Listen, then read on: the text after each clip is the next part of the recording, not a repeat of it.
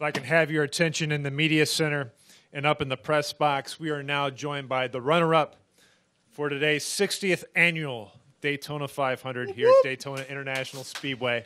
And it's none other than Darrell Wallace Jr., driver of the number 43 Click and Close Chevrolet for Richard Petty Motorsports. Not only was Darrell the highest finishing Sunoco rookie in the race today, but he's also the highest finishing African American driver in the Great American Race. A second place finish. Besting the previous mark set by NASCAR Hall of Famer Wendell Scott in 1966. Bubba, that was a, a wild race out there, wild finish.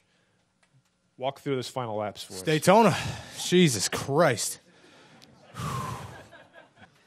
absolutely. I got lost out there. Man, you did that thing, baby. I am so proud of you, baby. I'm so proud of you.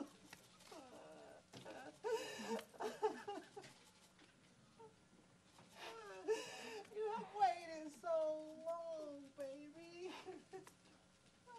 You act like we just won the race. Hey, we did. hey, we did. we, we did win that race, baby. We did. I love you. and I'm so proud of you. Thank you, love you. God dang it, Mom.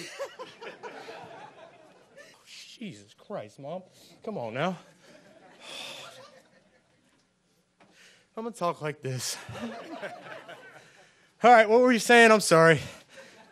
I was going to say walk through the final laps, but forget the final laps. Walk through just the emotion of this moment for you right now.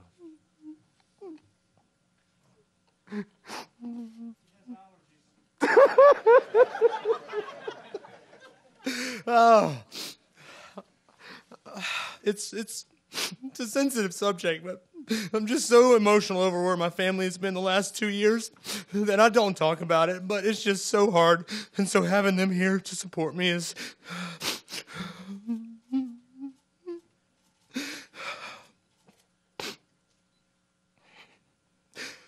Pull it together, bud. Pull it together. You just finished second. It's awesome. I just try so hard to be successful at everything I do, and my family pushes me each and every day. And they might not even know it, but I just want to make them proud. And second is horrible, but it's still a good day.